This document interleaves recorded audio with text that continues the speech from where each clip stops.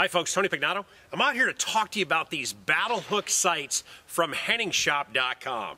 Now, these sights, for me, they're low profile, and I think they're designed for that use in that tactical environment. Can you use them in a competition environment? Absolutely. They're accurate. They're low profile sights. Uh, they come in a fiber optic option. They also come in a uh, a night sight option as well as a full blacked out option.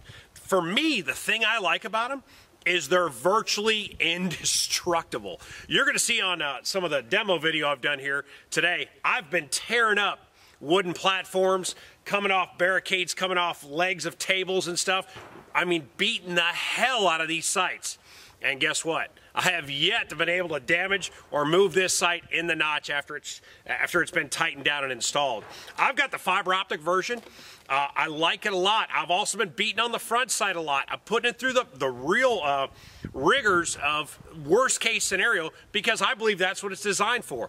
The battle hook design, it's a really heavy duty sight. It's a post notch design. It's got a little forward slant to it. So you could hook it on things, again, clear gun, so you could hook it on things like your holster, the table, if you got to come into a glove, uh, off a pocket, off a belt to perform immediate action or to actually chamber around into the gun, you could do this.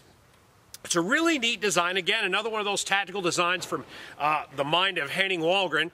Uh, again, he has his finger on that pulse. He talks to a lot of guys, operational guys, and guys in law enforcement. Uh, too, as well, um, about products, things that uh, that they would need, things and the level of durability that they would need. I really like these battle hook sights a lot. I mean, they are durable as hell. I love doing little drills, especially coming off the table, chambered round and delivering that round down range on that target. Make sure you check these out at henningshop.com, the battle hook sights. And I know he's got them for a bunch of different variants. He's got them for 1911s. He's got them for all kinds of different platforms. Again, check it out, www.henningshop.com or check him out on Facebook at Henning Or Henning Group.